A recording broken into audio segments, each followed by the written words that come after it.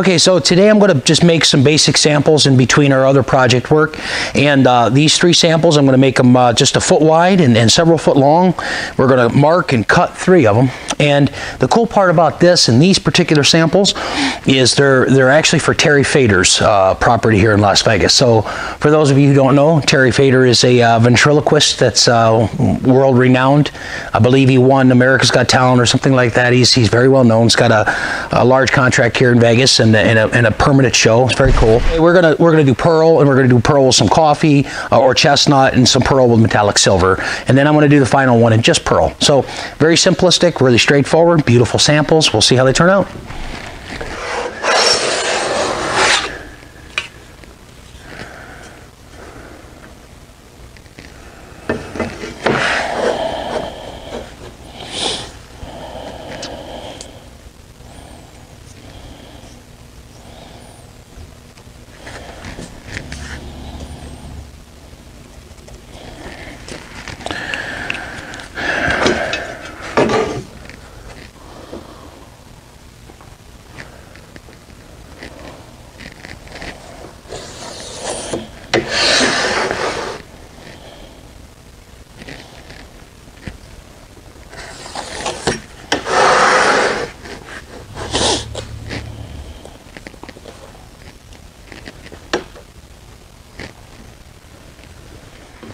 For what it's worth, I love a, a, mobile working table. This one's on casters, or I'm sorry, on pneumatic tires.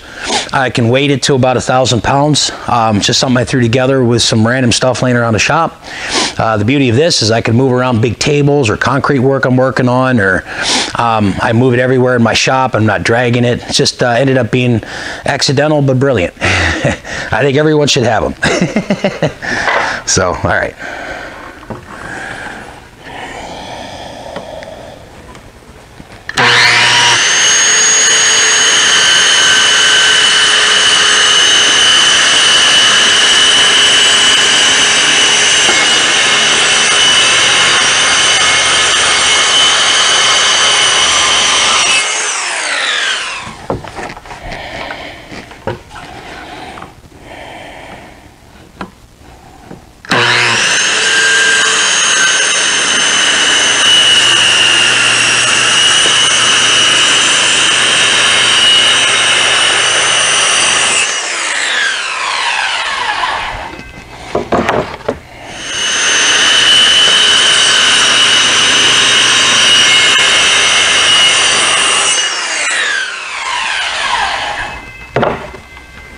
And there we have it.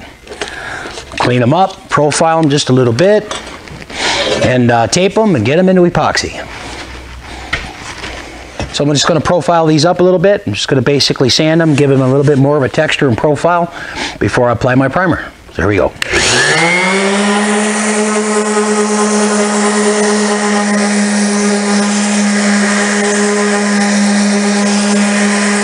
I try to get them a uniform color you can see as it's profile on the top surface, it's just removing the uh, darker color of the of the, the top surface. I'm using, I think, like a 60 grit or 80 grit. I don't want it baby smooth. I want it textured a little bit.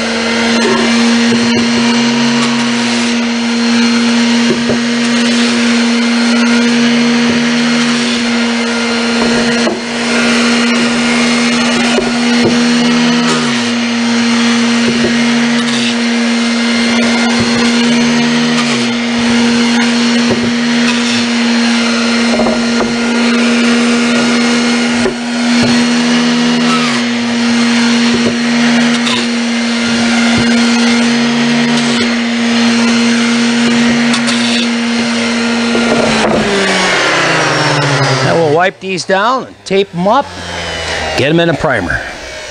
I may not tape them for the primer. I may just leave them like this once the primer's dry in an hour, and then I'll tape them up good. Then I'm not trying to get around the edges and stuff with, with tape in my way. So that's usually how I prefer to do it. so, okay, there you go.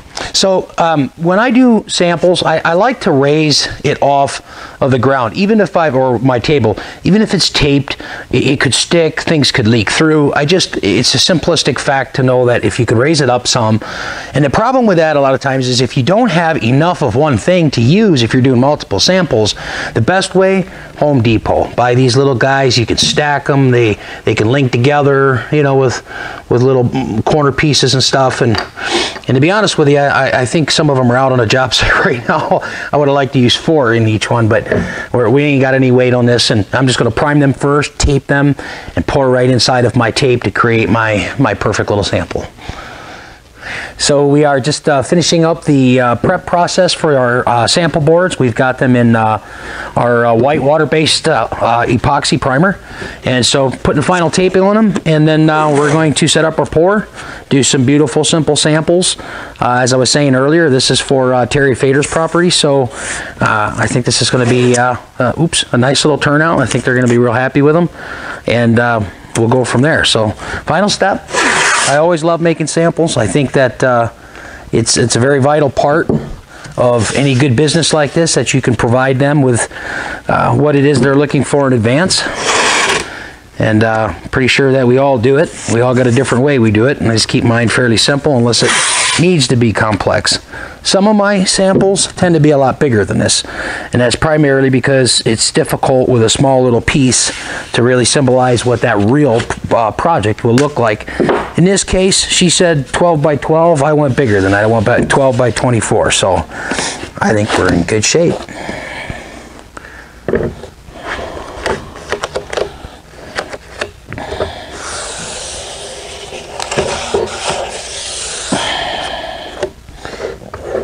Easy peasy.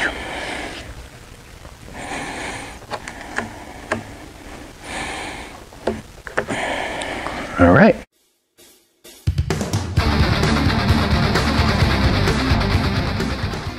I like to shake these up a little bit. And the reason is, is because the powder condenses itself and starts to pack down. And then when you try to get it out, you only have a scoop, but it's a lot more than that because it's condensed and it doesn't break up as nicely in your little mixes. Now, I even do that with if I'm pouring the whole thing into a five gallon pail, I still like to fluff it so it comes out nicely and I don't have big chunks that are pressed together inside, so to speak. So, just wanted to mention that. Okay, so that's my pearl. This is this is chestnut. That's a beautiful color there. It's very rich. Beautiful color. Love it.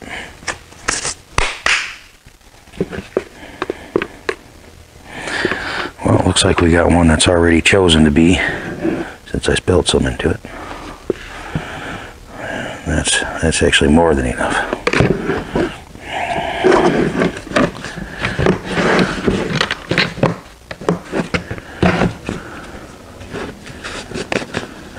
I don't have a teaspoon for this one. You ready? Okay. Some metallic silver mother of pearl.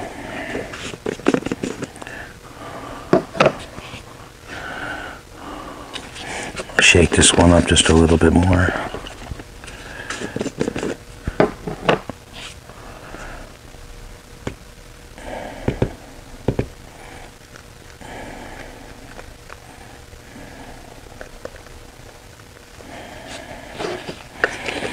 Okay I want to put this one in there. Okay. So normally I like to use a drill on very slow speed. Um, this is such a small quantity that I'm not going to worry about a drill. I am probably going to just mix about four minutes A lot of times I'll just go to, say, Dollar General or something, and I'll get one of those little teeny plastic counters where you just hit how many minutes you want hit the button and it'll count. A lot of people use their phones. I don't like that because I get my phone full of epoxy. so I like the little counters. But I've done this long enough, I can count in my head rhythmically and just kind of keep moving without losing pace too much. Um, I like to always clean the sides. This applies to any epoxy. I don't care what you're doing. If it's not mixed correctly, you're going to get, you know, uh, a little teeny spot somewhere that's probably going to be soft when it cures uh, and, and does not cure correctly because there's unmixed portions of A and B on the sides here that just so I always spend time intermediately scraping the sides and then the bottom and then keep mixing and repeat. I get to about four minutes, I'm comfortable. I haven't mixed it at 100 miles an hour. If it's in a bigger pail, like ice cream size on up to five gallons, I'm using a, a drill and a full mixer on very, very slow speed and keeping it clean. I always still like to throw a paint stick, even if it's a bigger one in a pail or a smaller one like this, because as I'm mixing, same thing. I still want to mix it on the sides, on the bottom. You can't really do it with a, a vortex mixer or whatever mixer you're using. So again, just keep uh, plenty of paint sticks handy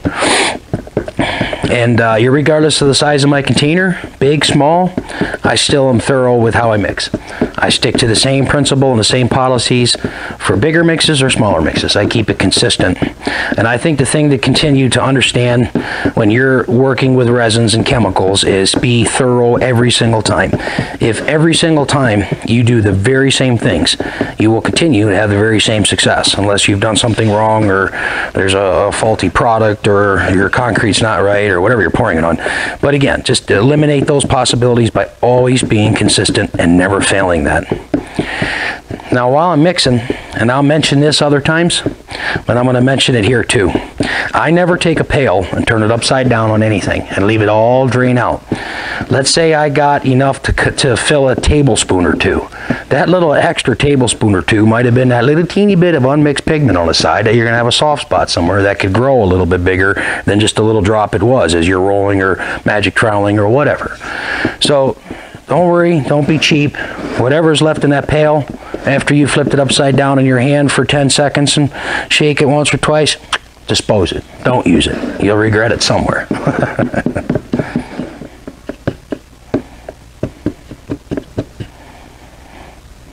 I could pull it out, see on the stick that I can't see the stick right away, I got the pigment about where I want it. If I pulled it out, you could see the stick right away. Just keep in mind that's how transparent it will be on anything else. Sometimes I like a little less pigment because I'm doing something different. But for a primary pour or sample boards, don't overdose on the on the pigment, but make it the right the right equation for the amount you're mixing.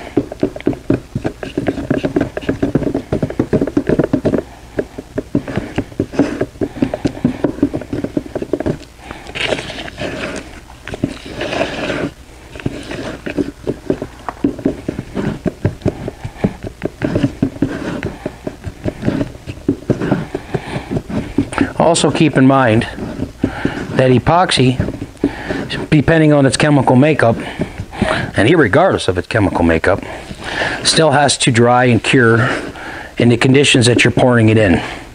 So keep in mind the humidity factor. If it's very, very, very humid, it's going to cure differently. If it's very, very dry, if it's very hot, if it's too cold, now, there are epoxies, always, and other floor uh, chemicals, whether it's polyaspartic, polyurethane, that are different. They're rapid cures, they're fast sets, they're designed to cure in cold temperature. Your average metallic epoxy, and, and ours including ETU, is not designed to, to you know, cure in, in negative 10 degrees. It's not designed to sit out in the sun in your pail for half hour or 45 minutes when it's 110 in Las Vegas or LA or wherever. You know, if in Wisconsin or Florida, it's going to be much different perhaps in terms of humidity and cure rate uh, than other cities and other locations. So always keep all of those factors in mind. And if you hear me say it once, I'll probably say it far too many times, but it's necessary. Air quality in the work site is huge. How you prep, how you clean up after yourself, what condition you're, you know, are you got uh, the spike shoes on the floor? Are they clean? Are they going to leave a bunch of chunks from a previous job on the floor afterwards? All of those little teeny factors play the biggest roles more than any other failure. Clean, clean, clean, clean, clean. Work site should be spotless.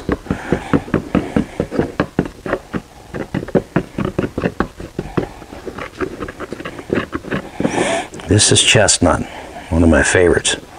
Just all in itself, a lot of these colors have so much movement as you can see.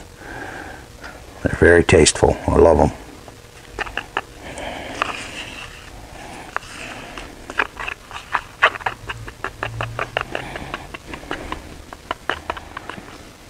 So chip brushes, um, I love it. These are from Harbor Freight.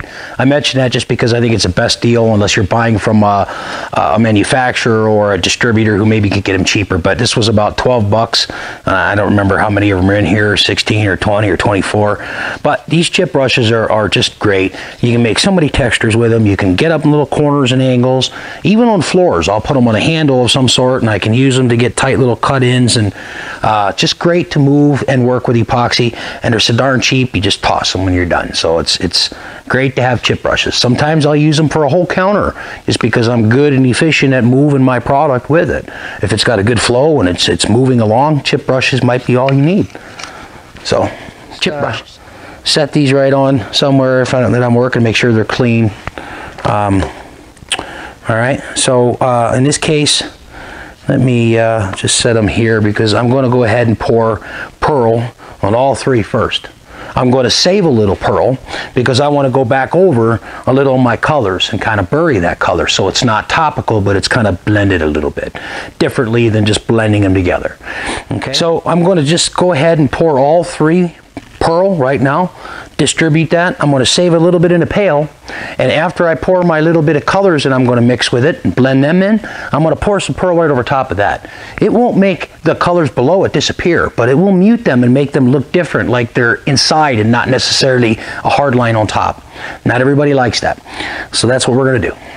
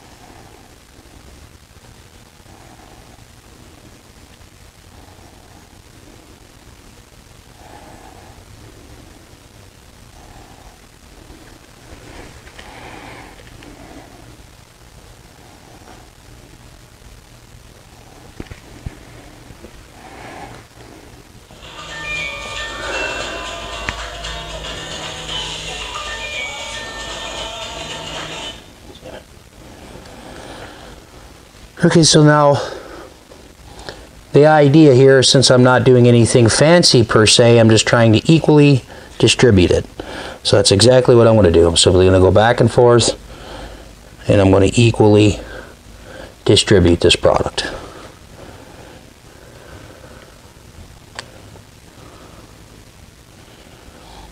before I apply anything else.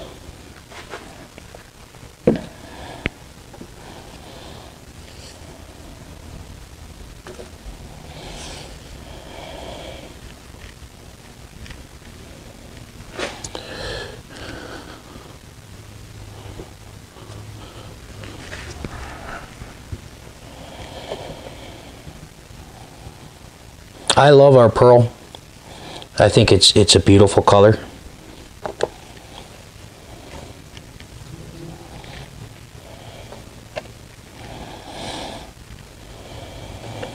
I also like chip brushes. I know I just said this, but they're very good often to make wood grain. There's other ways, other tools, and I'm not trying to make a wood grain, but I just think it's it's a good thing to mention. Also, really be careful with corners so you're not missing one by accident. I like to rub, rub the uh, chip brush pretty tight to my outside edges. Make sure I'm not missing a little corner. That applies a lot more so on a real job than just a sample.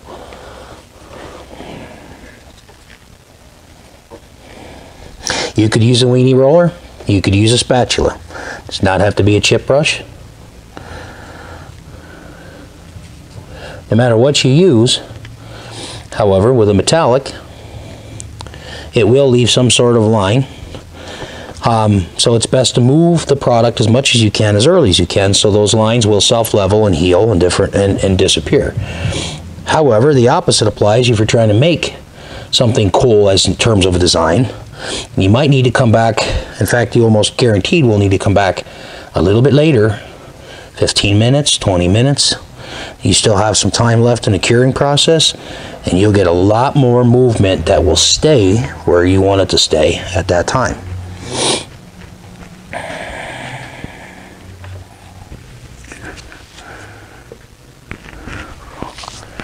One of these I'm going to leave straight pearl. I'm going to do nothing else with it. The other two I'm going to add just a little bit of color.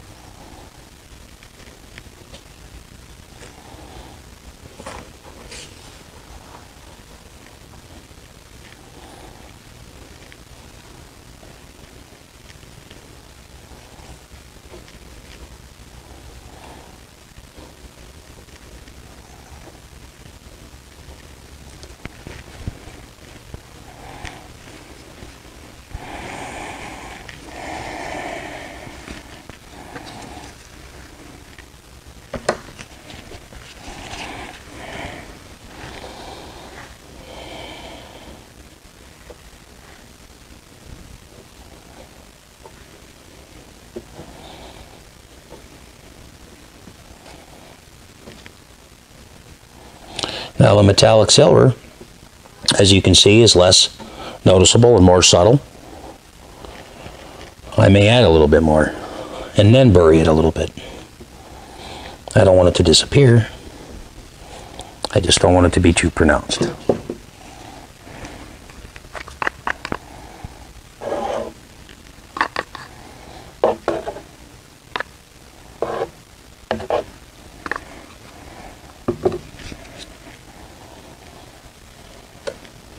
That's a little better.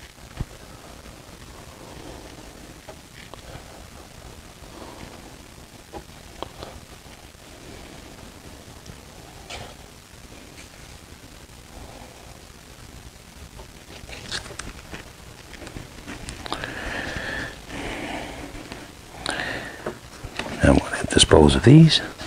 I shall be right back. So now my thought process is I'm going to try to blend and hide just a little bit so it's not so topical.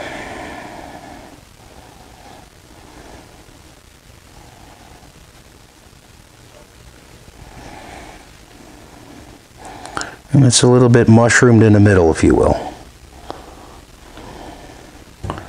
And this depends on the client and what they may or may not want more than anything else.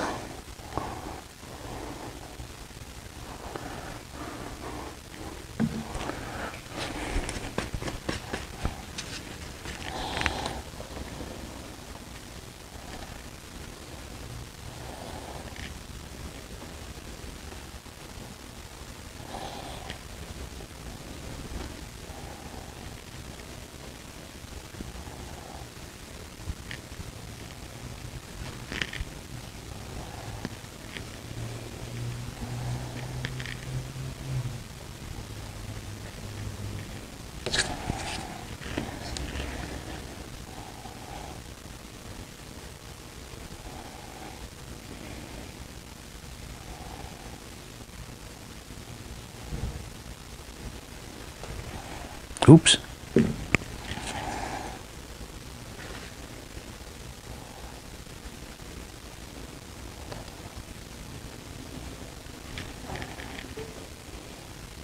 Now this will self-level and it won't quite look like this, but very close.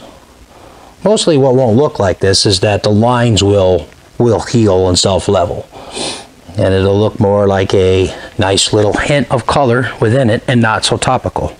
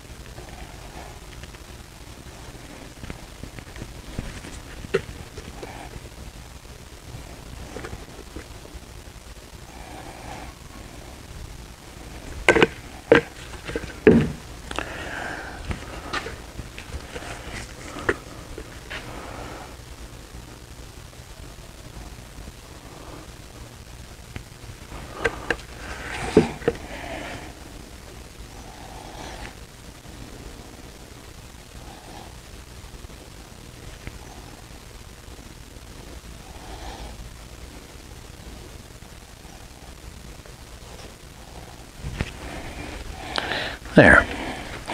Now it's not topical, but you can still see the color. And we'll see what that looks like. I think that's what the client was looking for. They liked some of the pictures I had showed them that were similar floors. You could see a hue of the color, but it wasn't topical like a, a line or a vein uh, or a muck with, you know, a, a nine inch roller or a weenie roller. It was more of a buried color that you could still see through the pearl. So, uh, chestnut, metallic silver, pure pearl. So we've given them three options. There is one more thing I'm going to do, and I can demonstrate. I'm going to get my torch. I'm going to lightly touch this up because it'll get rid of any impending air bubbles that happen from the cure process. I'll be right back.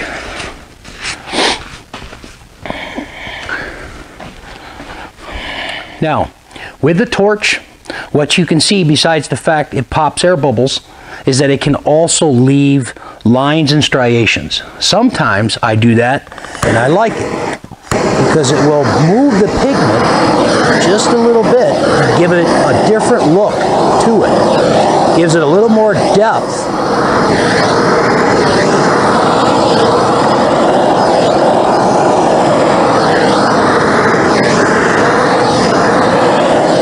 looks, in my opinion, a little more marble. But of course, the other purpose is removing any, any bubbles that may occur.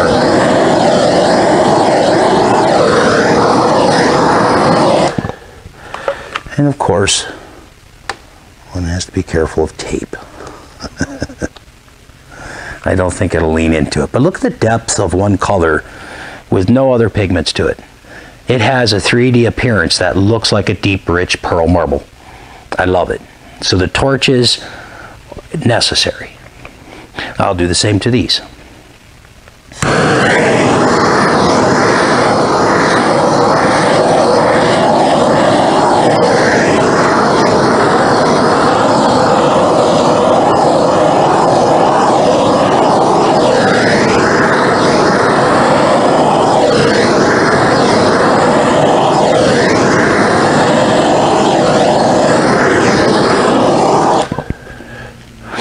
One thing to keep in mind, look how glassy that is. Just like glass. And one thing to keep in mind is that when you're torching and using this process, it doesn't often happen on floors. People ask me, do you do it on floors? I have, many times. It takes a little time. The biggest problem with it is that if you're on the floor too late and you're on spike shoes, because you have to be if you're on the floor, you don't want to leave spike marks behind you. That's the biggest problem I have with doing it on the floor. But if you stage it right and you're not looking at complicated colors. So as you're stepping, you're taking one little footprint where you've left spike marks into the next one and leaving extra colors.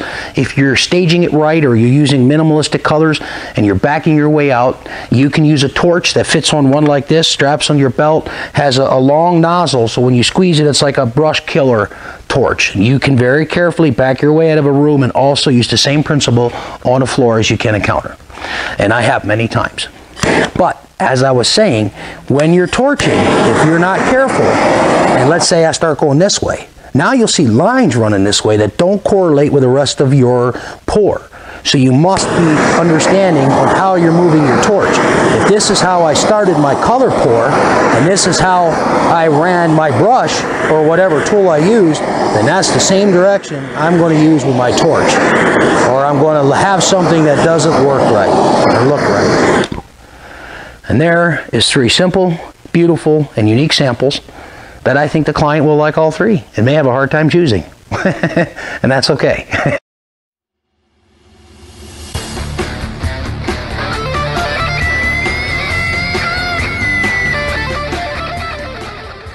We're just going to clean the edges up on our samples that we made yesterday. Um, this is for Terry Fator's property. So I just turn my belt sander on. It's a simple way to clean up the edges and get rid of any of the goop on the sides from your tape. Um, and uh, that's what we're going to do.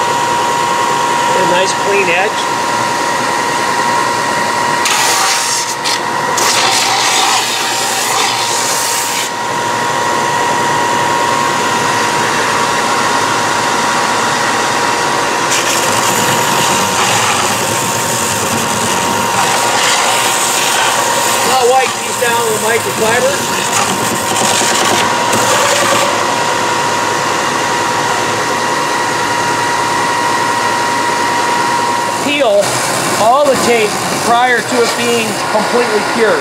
It's no longer tacky, but it's not cured. You can peel the tape the night before. And usually that's what I do. And it's a little easier to clean this stuff up that way.